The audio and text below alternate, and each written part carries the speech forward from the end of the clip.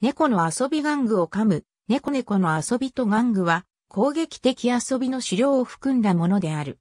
猫が遊ぶ時の行動は狩りをする時の習性によく似た動きをする。これらの遊びによって、子猫や若い猫を成長させ、認識能力や運動能力を得たり、他の猫との社交性を身につけることができる。猫の遊びの習性は、一匹で行うものか群れで行うもののどちらかである。彼らの遊びには多くの玩具がある。それは、糸や獲物に似ている猫じゃらし、プラスチックの袋にまで及ぶ。捕食猫は肉食動物であるため、猫の遊びのほとんどは狩りごっこである。獲物は捕食者を恐れる。捕食者は捕食から逃れようと試みる獲物にしばしば出会う。猫の方へ自信を持って向かってくる獲物は攻撃的な防御姿勢を見せつける。猫はよく玩具と遊び、挑戦的な獲物に似た玩具より捕食を恐れ逃げようとする玩具を好む。狩りの成功率は遊ぶ上で重要なことである。猫は獲物が常に捕まえられると退屈になり、獲物を捕まえられないと狩りへの興味をなくしてしまう。理想の狩りの成功率は、およそ3回に1回から6回に1回だ。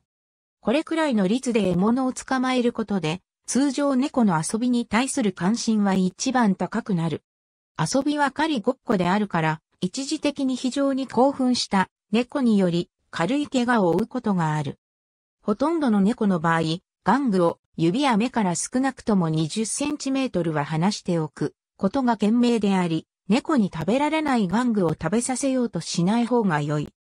人の剥き出しの手とじゃれている場合、猫は普段は爪で引っかいたり、強く噛んだりしないよう我慢するが、極度に興奮すると遊び相手の人間に軽い引っかき症を与えたり、小さな噛み傷をつけてしまうかもしれない。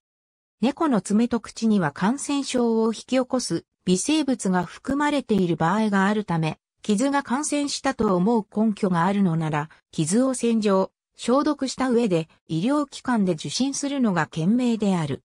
獲物を捕まえることと食べること、この二つは密接な関係を有しているものの、別々の行動である。家猫は手に入れた食べ物を後で食べるために保存しておく。狩猟ゲームの中に食事を含んでおくと、捕食が終わると遊びの興味をなくす傾向がある。ご褒美を隠しておくことで、嗅覚など猫の感覚が刺激されるようになり、また創作する技術を使う遊びになる。遊びとつながっているご褒美という考えにより、猫はご褒美が嬉しい行動を意味するという連想ができるようになる。ありがとうございます。